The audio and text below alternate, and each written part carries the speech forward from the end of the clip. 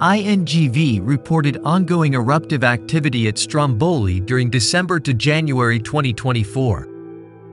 The eruption showed Strombolian activity at three vents in Area N, at the summit of Sciara del Fuoco, and from two south-central crater vents on the crater terrace. Eruption above average today. Explosion stronger than usual occurred from the central south.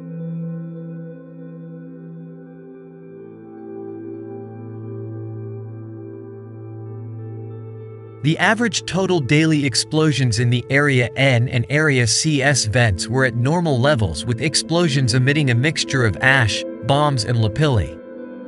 Sparks occurred on S2 and N2 in December. A series of six explosions and brief lava eruptions were recorded during 2252-2257 in late December. The first encounter was huge and threw pyroclastic material onto the Sciara del Fuoco.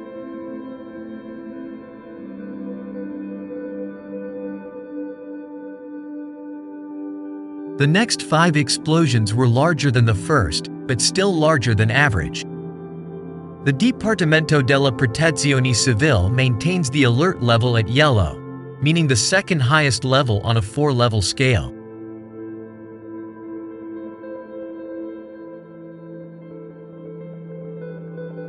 Stromboli, located in Italy, has had almost constant lava fountains for the past 2,000 years. The recorded eruption occurred in 300 BC.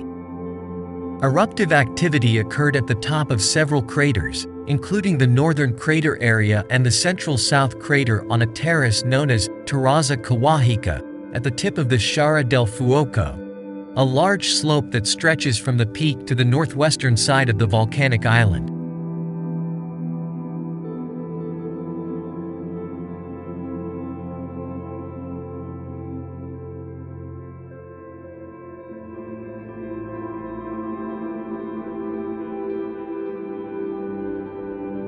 Activity typically consists of strombolian explosions, glow plumes, lava flows, and pyroclastic flows. Thermal and visual monitoring cameras are located near Pizzo Sopra La Fossa, on top of the Terrazza Kawahika, and at several side locations. The current eruptive period has been ongoing since 1934 and the most recent activity has been strombolian explosions and incandescent flares. BGVN 4707. The activity described here includes daily explosions, flares, spatter activity and lava flows during July to December 2022 using reports from Italy's Istituto Nazionale di Geofisica e Vulcanologia INGV, and various satellite data.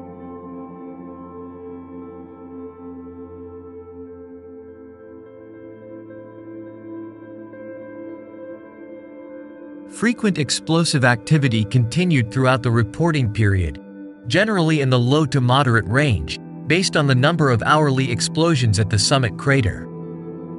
Intermittent thermal activity recorded by MIROVA analysis on MODIS satellite data.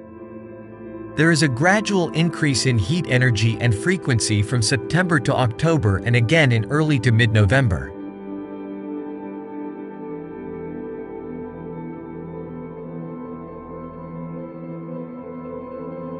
The strongest thermal activity was detected in early December and continued at high levels until the end of the month. This increase in thermal activity likely reflects the period of active lava flow reported at Sciara del Fuoco before intense splash activity. Sentinel-2 infrared satellite imagery captured relatively strong hot spots in two active summit craters on clear weather days, indicating a particularly strong event in late January where lava flows covered much of the northwest flank.